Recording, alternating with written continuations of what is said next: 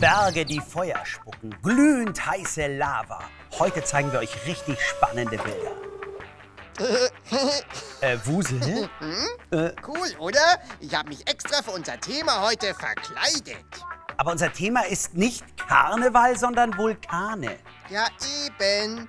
Vulkania. So wie Mr. Spock vom Raumschiff Enterprise. Guck mal hier. Hier. Was denn? Nicht Vulkanier, sondern Vulkane. Oh, na toll. Und wofür habe ich jetzt den ganzen Tag den Vulkaniergruß geübt? Äh, nee, äh, ich hab's gleich. Moment. Wusel, Hä? das geht so. Lebe lang und in Frieden. Ja, dafür brauchst du leider fünf Finger. Och, das ist ja gemein. Da habe ich ja als Wusel überhaupt keine Chance. Ha, Aber kennst du den vulkanischen Nervengriff? Nein, auf. aber du wirst ihn mir bestimmt gleich. Toll, oder? Mit nur zwei Fingern. Äh, hey Benny, was ist denn? Ich hab doch nur so gemacht. Grusel, Grusel.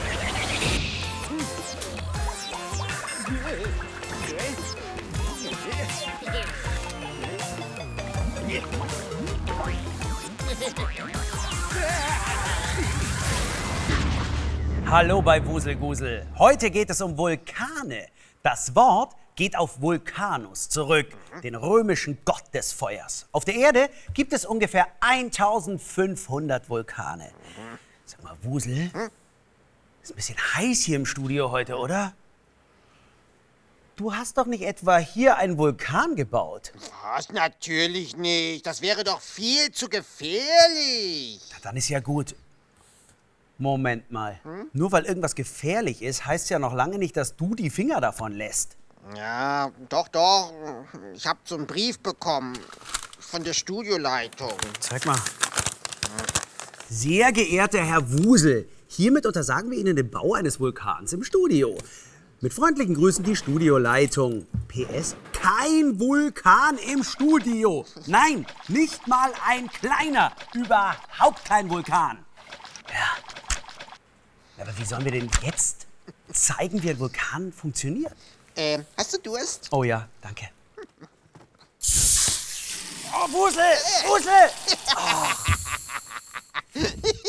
Das war doch mit Absicht. Ja, ganz genau. Ich habe die Flasche geschüttelt. Dadurch hat sich in der Flasche Druck aufgebaut. Und nachdem du den Deckel geöffnet hast, hat der Druck die Cola wie bei einem echten Ausbruch herausgeschleudert. Und genau so spuckt ein Vulkan beim Ausbruch die Lava aus. So ein Vulkanausbruch sieht ziemlich beeindruckend aus. Asche schießt hoch in den Himmel, glühend heiße Lava bahnt sich ihren Weg. Aber woher kommt diese Lava und warum gibt es eigentlich Vulkane? Die Erde ist gar nicht so hart, wie ihr vielleicht denkt. Außen eine dünne Kruste, innen flüssig und ziemlich heiß. Sie ist aus mehreren Schichten aufgebaut. Der Erdkern besteht vermutlich zum Teil aus flüssigem, etwa 6000 Grad heißem Metall. Zwischen Erdkern und Erdkruste liegt der Erdmantel. Der ist zwar nur etwa 800 bis 2800 Grad heiß, das reicht aber immer noch, um Gestein zum Schmelzen zu bringen. Die Erdkruste besteht aus riesigen Platten. An den Rändern ist die Kruste besonders dünn. Und hier gibt es die meisten Vulkane. Besonders gut sieht man die Ränder der Platten im Pazifik. Die Vulkane ziehen sich hier wie ein Feuerring entlang. Das flüssige Gestein sucht sich seinen Weg nach außen, man nennt es Magma. Tritt Magma aus der Erde aus, heißt sie Lava. Meistens fließt die Lava an den Seiten des Vulkans herunter und wird dort zu festem Gestein. Manchmal bildet sich ein Lavafropf, der wie ein Korken auf dem Vulkan sitzt. Weil von unten aber immer mehr Magma nachdrückt, kann der Korken platzen. Und zwar mit einer gewaltigen Explosion, die große Zerstörungen in der Umgebung anrichten kann. Die Gegend um den Vulkan ist dann von einer dicken Schicht aus Asche bedeckt. Und weil es jede Menge aktive Vulkane gibt, machen wir jetzt eine Notfallübung. Wegen des vielen Rauchs und Ascheregens ist nach dem Ausbruch die Sicht sehr schlecht. Deswegen üben wir jetzt Schutzkleidung bei schlechter Sicht suchen und anziehen. Und los! Oh. Oh. Ein bisschen Vorwarnung wäre nett gewesen. Ach, Beni, es gibt keine Vorwarnung vor Vulkanausbrüchen. Oh, oh ich habe die Schutzkleidung gefunden. Hä? Ja, hier, anziehen. So. Oh, warum hab ich das gewusst? Hä? Hast du mal auf die Verpackung geguckt? Ja klar, da steht Schutzkleidung. Oh, Wusel, da steht Scherzkleidung. Oh. Scherzkleidung. Na, sei doch froh. Wenn beim nächsten Karneval ein Vulkan ausbricht, dann bist du der Einzige, der sich schon damit auskennt.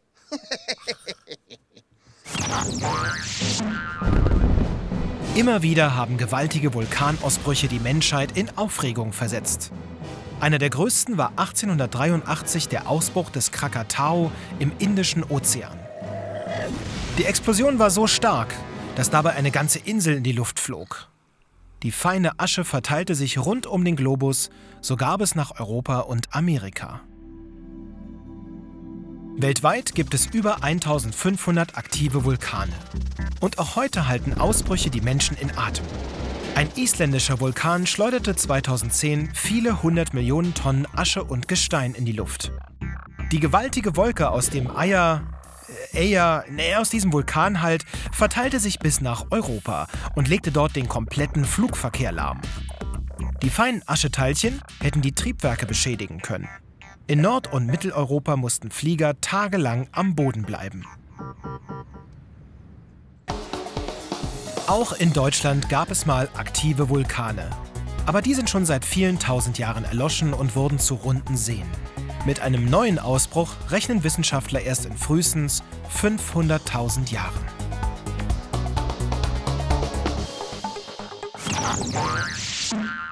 An manchen Orten wird die Vulkanwärme ganz praktisch genutzt. In Island zum Beispiel werden damit Schwimmbäder beheizt. So sieht das dann aus.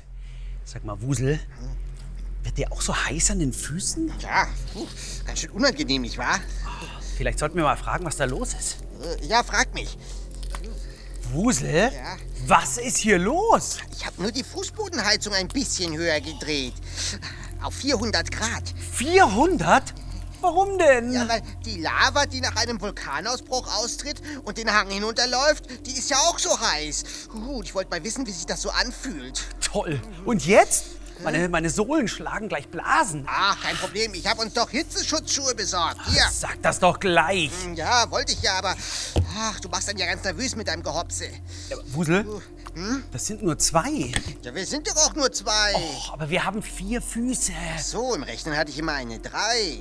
Und jetzt? Ach, wir teilen brüderlich. Jeder steht auf einem Bein. Okay. Na gut.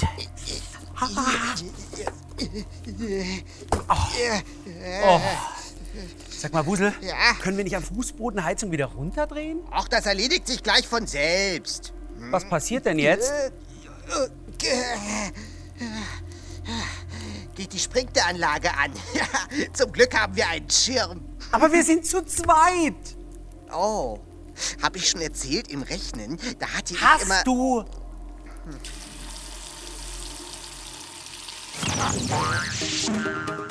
Mit Vulkanen verbinden wir meistens hohe Berge an Land.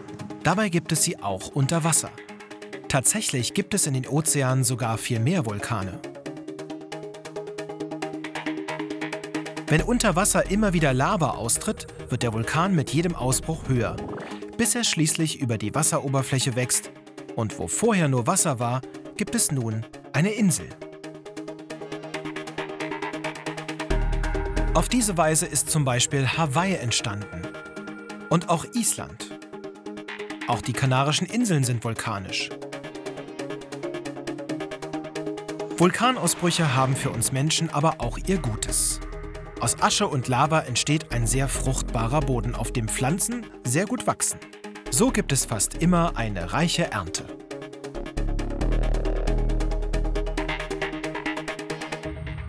Auf Island sorgen Vulkane dafür, dass kochendes Wasser aus dem Boden schießt. Diese natürlichen Springbrunnen heißen Geysire. Wusel, hattest du nicht versprochen, keinen Vulkan im Studio zu bauen? Ich habe versprochen, keinen gefährlichen Vulkan im Studio zu bauen. Und was soll das? Na, da ist mein Spezialwerkzeug drin, falls der Vulkan ausbricht. Hier, guck mal nach. Ich wusste es. Ich wusste es doch. Ach. Äh. Und jetzt? Jetzt warten wir. Die Lava. Da kommt die Lava. Oh, oh. Ja, Riecht aber lecker. Ha. Jetzt weiß ich's. Oh, Schokolade. Lecker, Wusel. Ja. Das war echt eine tolle Idee. Siehst du, man kann auch Spaß haben, wenn mal nichts explodiert. da hätte ich das Dynamit ja gar nicht reintun müssen. Welches Dynamit?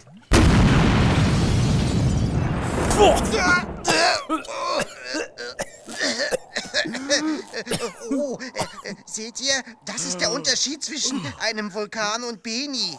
Bei Beni sieht man immer vorher, wenn er ausbricht. Äh, äh, tschüss. Wusel! Na, hat euch das Video gefallen? Ha, dann sage ich jetzt 3001 Mal Danke. Hm? Danke, danke, danke, danke, danke, danke, danke, danke, danke, danke, danke, danke. Danke, danke, danke, danke, danke. Äh, Und hier gibt es übrigens noch andere coole Videos mit mir zu sehen. Hm? Und jede Woche neue hier auf meinem YouTube-Kanal. Danke, danke. Jetzt habe ich mich verzählt.